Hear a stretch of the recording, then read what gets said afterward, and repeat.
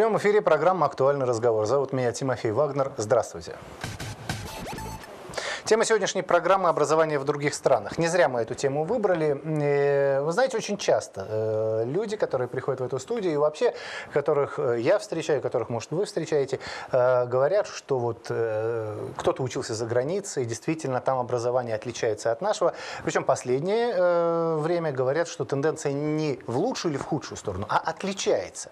Сегодня мы попробуем разобраться, насколько отличается, в чем отличается, со своими гостями. Но прежде чем их представлю, я хочу спросить у вас, дорогие друзья, отправили бы вы учиться своего ребенка или сами отправились бы учиться за границу, если бы это было бесплатно? Потому что э, часто мне говорят о том, что главное препятствие – это финансы.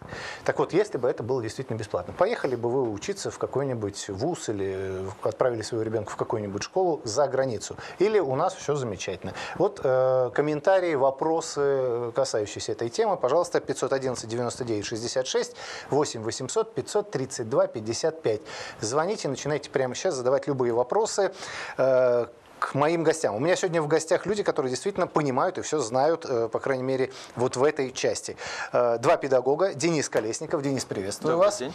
И Гусман Гайнулин. Приветствую. Добрый день. Итак, ну, все ваши э, регалии, все, что вы э, закончили, э, какие курсы, это очень долго перечислять. В целом скажу, что вы закончили огромное количество курсов, и цифровые образовательные технологии, и очень много всего на английском. Потом использование системных деятельных подходов в образовательных процессах в условии перехода на ФГОС нового поколения Пенделеева, э, член апелляционной комиссии Всероссийской Олимпиаде по английскому языку, эксперт высшей высшей категории Федеральной предметной комиссии ЕГЭ по английскому языку. В общем, да, это вот э, ваши э, регалии, это замечательно. Но в любом случае э, родители, а я родитель, э, задается совсем простой вопрос. Вот э, сейчас наша молодежь, которая получает у нас образование, э, я замечал, что они действительно немножко, ну, глупее, наверное, совсем будет. Э, громко сказано. Ну, в общем, отстают от того поколения, вот, с которым учились мы с вами. И так ли это? Или просто они немного другие, другая система? Может, вы начнете? Хорошо. Система образования ну, чуть дольше. А, я думаю, что э, система образования, когда мы с вами получали, то есть Советский Союз, все-таки, наверное, была чуть-чуть получше, строже было все-таки. Сейчас эм, чуть помягче, плюс, э, я бы сказал, тут в наше с вами время эм, учитель Бог, вот да. так обычно говорили. Сейчас учитель лишь один из источников информации и, к сожалению, отнюдь не первый. Кто виноват? В чем причина? Почему вдруг преподаватель стал из уважаемого человека э, в инструмент получения знаний? Ну, вполне возможно, что это естественно. Мир к этому движется. А сейчас дети черпают очень много информации, э, в первую очередь из интернета. В первую очередь из интернета. Потом очень много, особенно в подростковом возрасте, это свои же друзья. И только, возможно, номер там три – это учитель. Угу. Вот. Мир меняется, меняемся мы, э, меняется все вокруг. Как бы, с этим просто нужно смириться и стараться э, стать из э, источника номер три просто источником номер один. Угу. Ну хорошо, а, ну а вот тенденция к интеллектуальному росту э, современной молодежи есть? Ну, например, вот вы педагоги, вот ваши самые первые классы и вот ваши сегодняшние классы. В какую сторону? Ну, э, я в системе образования как педагог уже с 2005 года, то есть 11 лет. А, я бы не сказал, наверное, что сейчас современные дети менее интеллектуальные, чем, допустим, были ребята в советские времена. Мир просто изменился сейчас, и если определять уровень интеллекта, нам нужно, наверное, во-первых, задаться вопросом, то есть какие мы критерии ставим а, к уровню интеллекта. Очень, очень часто сейчас в данное время говорят о том, что дети не читают. Угу. Дети не читают. С этим я частично соглашусь, частично не соглашусь. Возможно, дети не читают ту литературу, которую мы читали. Почему? Просто которую нам приказывали. Которую, ну, не только приказывали. Очень часто мы ходили в библиотеки и брали различные источники. Почему? Потому что у нас, у детей, у молодого поколения есть такое, э, как бы, потребность в новом получении информации. То есть это для, для для них, для нас это очень важный Э, источник, то есть получение какого-то наслаждения. Соответственно, в современном э, мире мы живем в, цифро в цифровое время, и такое понятие сейчас есть э, digital natives и digital immigrants, то есть переводится как цифровые иммигранты, это люди, которые были рождены после, до 90-х годов, это тогда до 90-х годов цифровые технологии еще не так были сильно распространены. Соответственно, э, я вот тоже был рожден до 90-х годов. Для меня, э, например, я не, не совсем так э, активно и так легко и так быстро осваиваю все эти современные цифровые технологии, интернет и так далее, разбираюсь во всех этих девайсах, как, допустим, современное поколение. Современное поколение, оно все же продолжает читать. Просто то, что они читают, это немножко другое. Если мы сейчас посмотрим как на ребят... интеллигентно, посты они читают. Посты они читают Причем часто. посты не преподавателей, если мы говорим про первое место, да. а посты друг друга. Так разве они интеллектуально в этот момент растут? А, вот в этом плане я могу согласиться в том э, в смысле, что, к сожалению, как мы видим из тенденции, что язык современной молодежи, он намного беднее сейчас, чем угу. тот язык, который, допустим, э, та же самая молодежь, э, скажем, 12-25 лет использовала, скажем, 5, 10, 20 лет назад. Просто почему? Потому что сейчас, как вот языковеды, как филологи, мы можем сказать то, что в мире есть так называемый процесс симплификации языка. То есть mm-hmm. мир стремится к упрощению языка, к упрощению, к экономии языковых средств. То есть вместо того, чтобы сказать какое-то, дли, какое-то длинное предложение, очень часто сейчас ученики, допустим, поставят слово «лол». Mm-hmm. Допустим, это ему нравится, или они смеются. Вот. И вот такие вот различные сокращения, они, с одной стороны, э, дают, дают какие новшества, какие-то новшества, с другой стороны, объединяют язык. Поэтому можно сказать то, что э, современное поколение, используя какие-то неологизмы, новые слова, угу. при этом они не должны отказываться и не должны забывать использовать те красивые, прекрасные, длинные слова, которые существуют в, рус в русском языке, в языках, и которые передают значение, наверное, глубже и более э, расширенно. Ну и вот тут мы возвращаемся к основной нашей теме образования в других странах. Тот же лол, тот же ок, тот же все вот эти слова, они оттуда. Значит, как бы мы ни хотели, но тем не менее система образования, которая э, за рубежом, в той же Англии, э, в Америке и так далее, она э, стояла как-то и стоит, и она продолжает развиваться. Ну, как да, Задорнов говорил, там, тупые, э, они тупые, но они как были тупые, так они стабильно и движутся да, в этом направлении. А мы э, когда-то были читающей нацией там, и все остальное, и тут мы начинаем до их лола и ока скатываться – ну и вот тут э, возникает вопрос, что лучше, постоянство и, или все-таки как-то можно выйти, опять обогнать их, перегнать? Потому что основной вопрос, вот образование в других странах. Что сделать такого, чтобы все-таки э, наше образование было действительно мега престижно? Я здесь вот, пока вы подумаете, Гусман Сальжанович, э, начну с того, что э, буквально недавно я изучал такую статистику, которая приведена была в цифровых ресурсах. Это так называемый индекс э, социального прогресса, который... Наш? Или это кто Это придумал? международный, да. То есть это индекс, который проводит не, не российская система образования, не российская система. То есть, но при этом она проводится каждый год регулярно. И что здесь нужно отметить?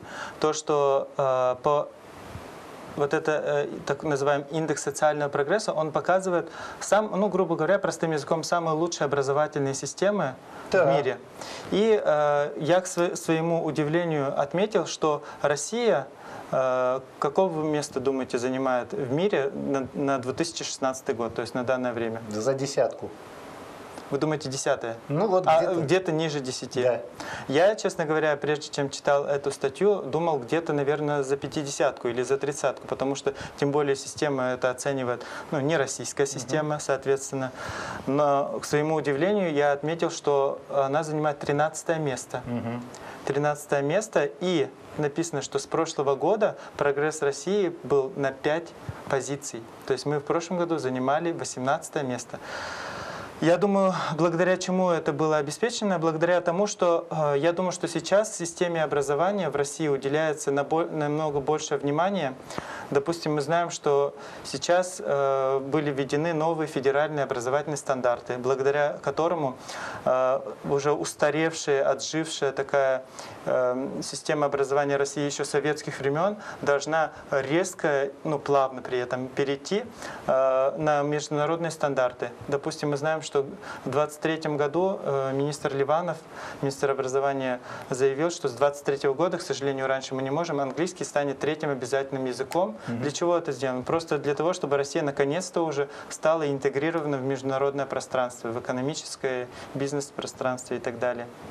-hmm. Поэтому я думаю, что э, в России э, что-то доделается. Конечно, будут критики, которые будут не согласны, но все-таки, особенно в Татарстане, я считаю, что мы знаем, что образование в э, Татарстане это ну, одна из наиболее крупных статей в бюджете республики. Соответственно, мы знаем, вот просто горожане города Казани могут посмотреть, думаю, других городов, просто пройти по улице и посмотреть за, ближ... за последние 3-5 лет, сколько было построено детских садов. Зайдите в школы, посмотрите, сколько ремонта было сделано.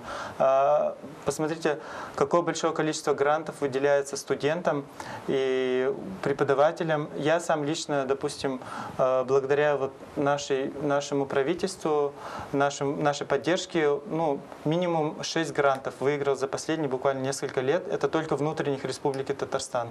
Но существуют еще федеральные гранты, еще и существуют международные гранты по поддержке педагогов, вот, угу. в которых я тоже участвовал. Замечательно. Поэтому... Что вы можете сказать? Ну, в данном случае я буду все-таки, наверное, оппонировать Дениса. Я да? скажу, да, я скажу, что в первую очередь, наверное, нужно смотреть глобальный э, и скажем так, эм, всего лишь 5% бюджета нашей страны выделяется, к сожалению, на образование. Это ничтожно мало. Хорошо, по сравнению с, уровне, да. Ну. по сравнению с э, другими странами, я э, помню, читал исследования, посвященные западным странам и странам именно лидерам в образовании. И везде траты на образование выше, где-то 10%. А что значит лидеры в образовании? Ну хорошо, можно назвать прям конкретные страны. То есть лидеры, mm. лидеры какие? На данный момент, последние лет 10-15, э, все страны сравнивают по трем различным э, методикам угу. чтения, э, математика и умение применять это в реальной жизни. Угу. Это Teams, PISA и Pearls. Pearls. Вот.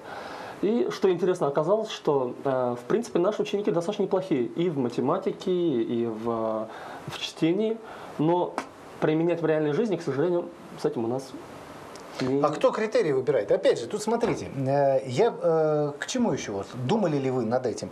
Э, последние два года идет тенденция к тому, что со всех сторон нас давят.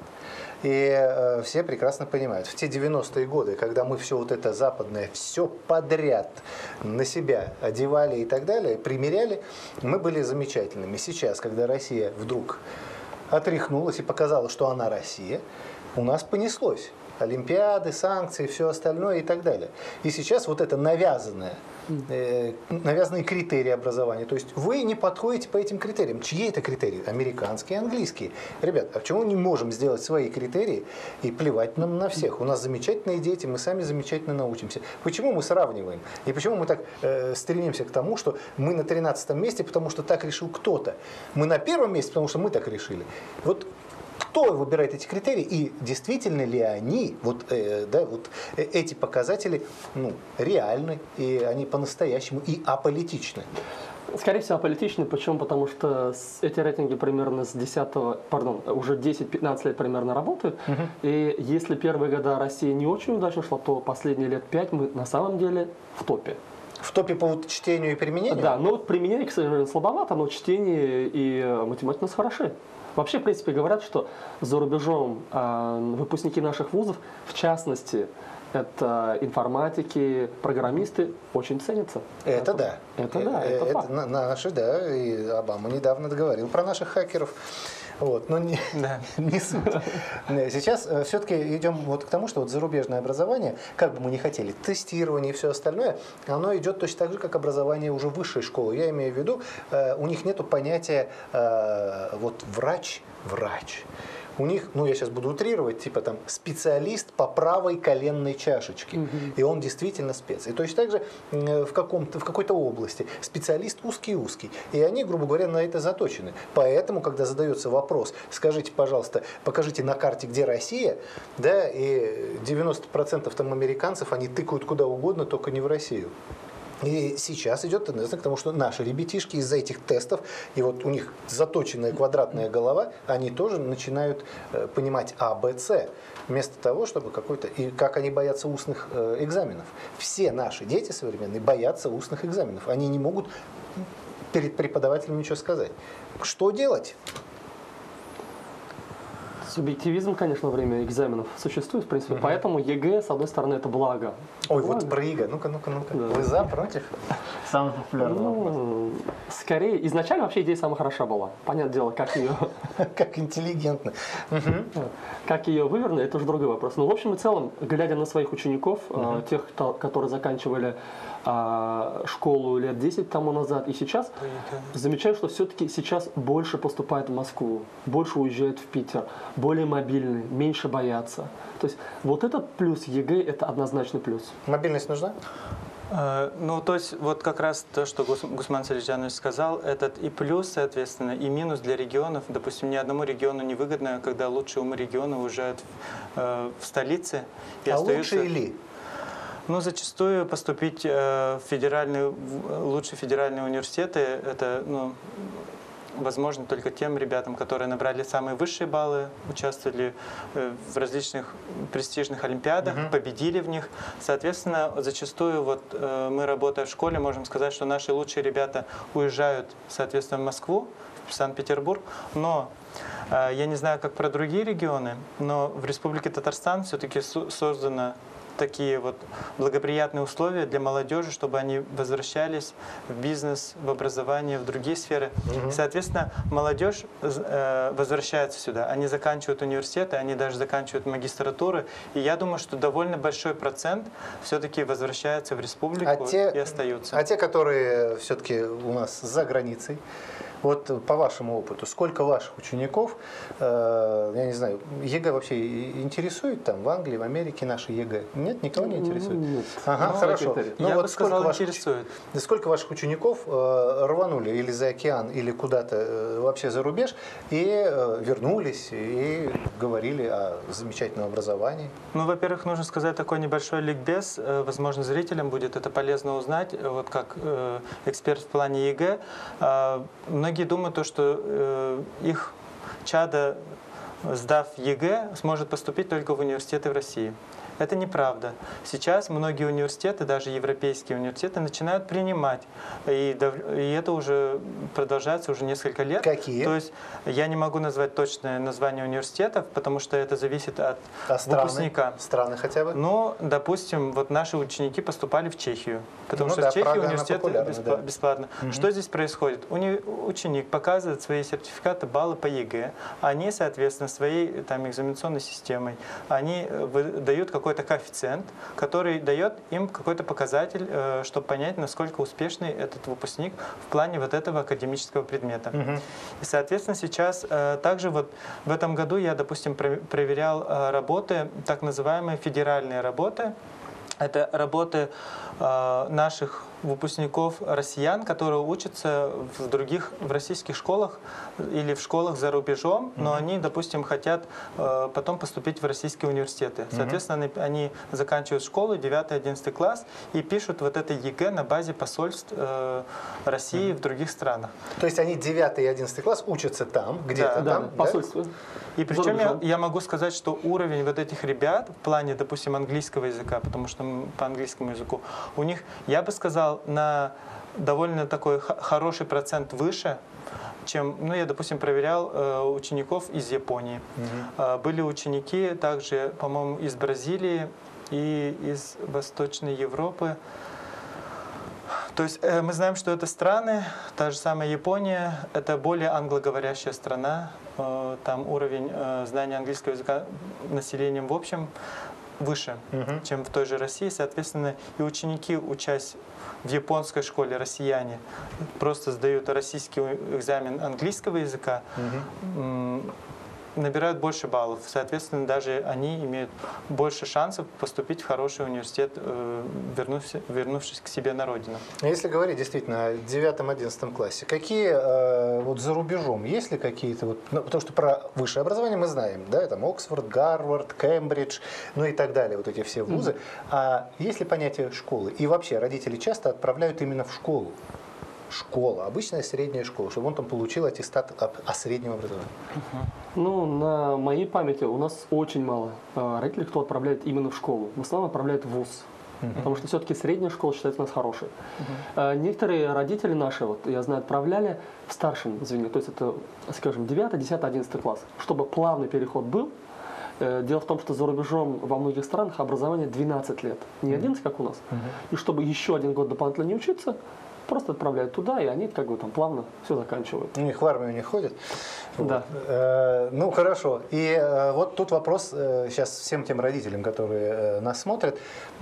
Если человек закончил наш э, вот 11 классов, то не все вузы принимают. А, Они с такой целью, что если он там закончил 9, 10, 11 класс, то его вот с тем аттестатом вот за эти два года могут принять уже практически все вузы. Так? Да.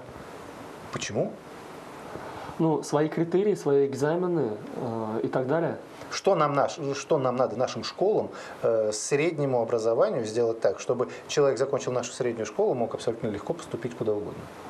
Ну, в первую очередь, наверное, эм, тут больше на правительственном уровне нужно решать. Мгм. То есть, чтобы наше образование э, считалось таким же э, равноценным образованием за рубежом. Вот как, допустим, вузы сейчас договариваются, что, допустим, корочка э, нашего бакалавра в России равна корочке бакалавра за рубежом.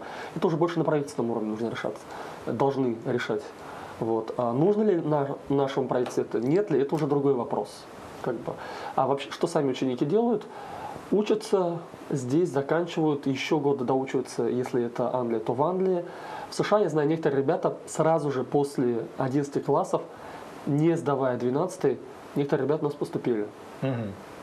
Хорошо. Э, Ну и э, в заключении программы, вот э, каждому буквально по минутке, э, какие-то рекомендации тем родителям или тем ученикам старших классов, где учиться? Все-таки мы сегодня говорим. Да. Вот, пожалуйста, в камеру, буквально минутка. Так, э, для тех э, родителей, которые задумываются, для тех учащихся, которые задумываются, э, стоит ли учиться за границей, по моему личному мнению, так, во-первых, это во-первых, нужно понять, э, хотите ли вы учиться в школе, закончить среднее образование, либо поступить в университет. Лично я считаю, возможно, со мной не согласятся, что российская система школьного образования, особенно начального образования, то же самое рейтинги показывают, она лидирующая в мире. В плане математики, в плане чтения, началка у нас одна из самых сильных в мире. Уже переходя ближе к средней, к старшей школе, все идет ниже и ниже. К сожалению, система высшего образования, она сейчас э, переживает кризис. И она не, конкурент, не совсем конкурентоспособная, скажем, по сравнению с системами западного образования. Вот я сам проходил стажировку э, в Северной Каролине буквально меньше, чем год назад, учился в, э, в Апалачском государственном университете и видел, э, как говорится, как учатся студенты. Я также проходил стажировку в средней школе, и я видел, что в средней школе в Америке учиться намного легче. Во-первых, у них малое количество уроков. Им практически не задают домашнюю работу, и, соответственно, у них еще пятидневка. Я смотрел, как учатся студенты в университете.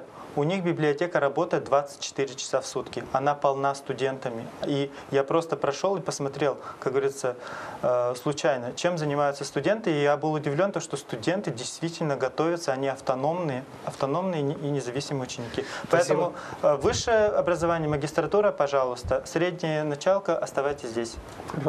Коротко. Хорошо, друзья, э, я все-таки думаю, что среднее образование, и поддержу своего коллегу, у нас хорошее. Э, В ВУЗе же мой совет номер один, куда бы вы ни поступали, это найти правильный выбор вуза и профессии. Потому что по данным Министерства труда и занятости больше половины выпускников вузов работают не по специальности.